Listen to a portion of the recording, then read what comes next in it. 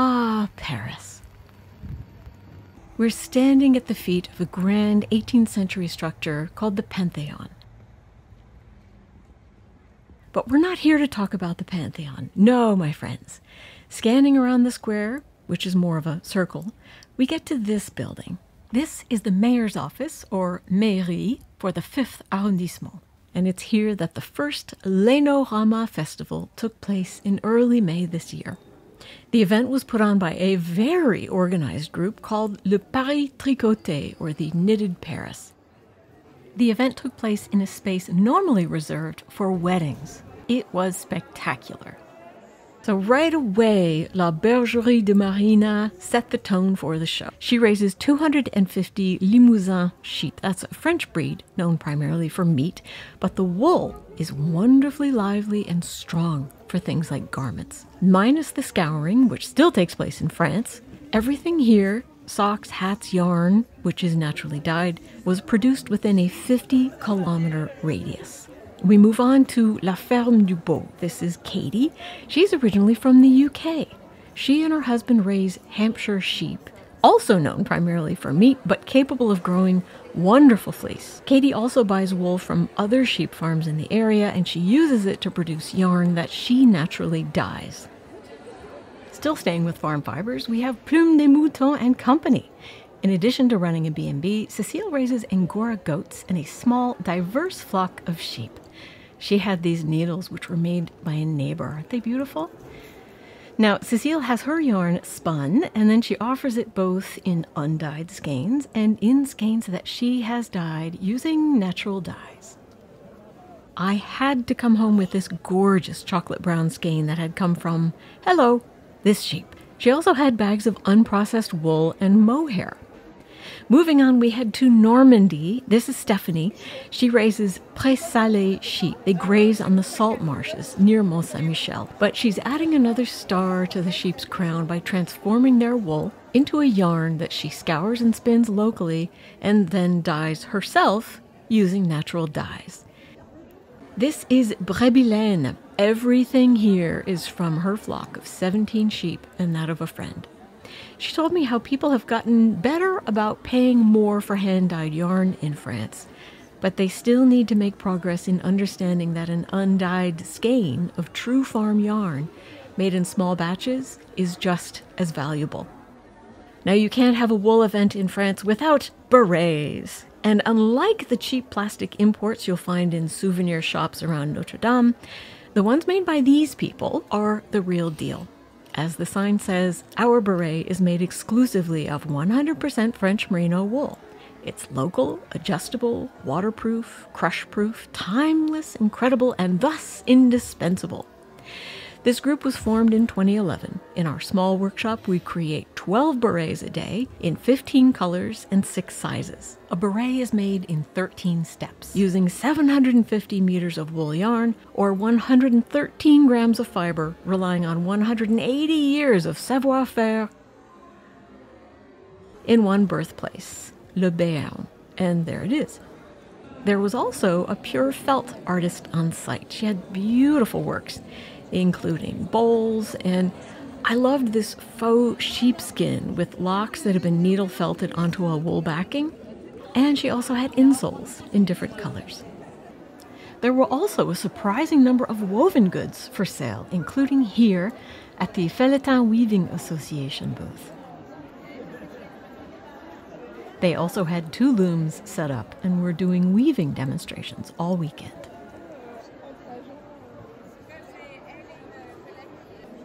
Meanwhile, on the stage overlooking this grand salle de mariage, you had a group of intrepid stitchers who helped create this wool filled coverlet. They were using a specific technique called la couverture piquée. And this is Marie Claude. She helped newcomers such as myself figure out the technique so we could chip in and help finish this in time for it to be auctioned off at the end of the day on Sunday. And no, I didn't win. As is required at any good yarn event, there was an umbrella swift in steady use throughout the weekend. Elsewhere on stage, there was a spinning demonstration that captured the attention of the younger visitors. having rested on stage a bit, let's get back down the stairs and see more of the show. You can't have a yarn event in Paris without having one of the godmothers of French hand dyed yarn, if not the godmother, and that would be La Bien Aimée. While Aimée herself was in the US, her skillful deputies, Julia and Lolita, held down the fortress. This particular yarn always captures my attention. This is Volute, a very delicious 50 50 cashmere merino yarn Right next to La Bien-Aimée was a newcomer who was mobbed the first day. This is Lucia of Wooliette, a brand that was only launched two years ago. And if you couldn't tell, Lucia loves brush mohair. Lucia sources her yarns from Italy and the UK, but that doesn't mean France doesn't have a mohair industry of its own. Right next door was one of my favorite discoveries of the show, Mohair d'Ardèche a husband and wife team, they moved back to the country from the big city of Lyon. He took a class on raising Angora goats five years ago, and the rest is history.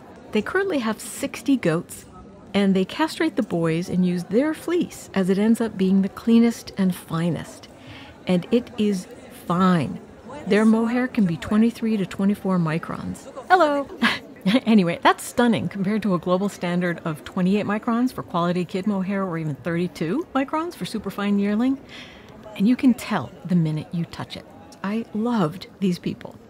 Back in the realm of hand dyers, here is Christelle of Tricot and Stitch. She was quite popular for her super fun hand dyed yarns in both electric shades but also really beautiful muted ones. Her dream is to one day vend at the New York Sheep and Wool Festival. Maybe we can make this happen? Another very popular hand dyer was L'Echeveau Solidaire, and that's Lily. Proceeds from sales help fund medical research to find a cure for a very rare genetic condition called McCune Albright syndrome. And since 2018, they've raised over 120,000 euros for the cause. I'm sure they added several thousand from this event alone. We had a guest from Brussels. This is Natural Dyer by Night Creations. Another natural dyer was Kamalaine, and among their yarn bases, I was particularly curious about this one, made from 90% French Angora, 5% Merino, and 5% silk. Oof. Nearby was Maison Septembre, or the House of September, another natural dyer that also had a handful of undyed, very woolly skeins. Hand dyer Sur la Rive Côté Hélène had some beautiful yarns and samples as well, and she was doing swift business. In addition to those vendors who had brought machine knit socks, Surrey Kate was there with hers, and she also had her sock knitting machine cranking out socks to show people how they're made, and she was also selling the finished products. We have three more vendors, and I loved each of them. First off was La Nolin, which is a play on the word lanolin, a mother daughter natural dyer of yarns for knitting and embroidery, and also crochet. I was very excited when I saw they had this uh, Merino d'Arles.